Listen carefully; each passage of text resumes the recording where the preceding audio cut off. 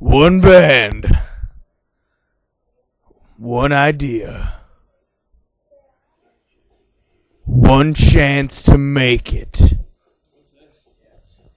This spring,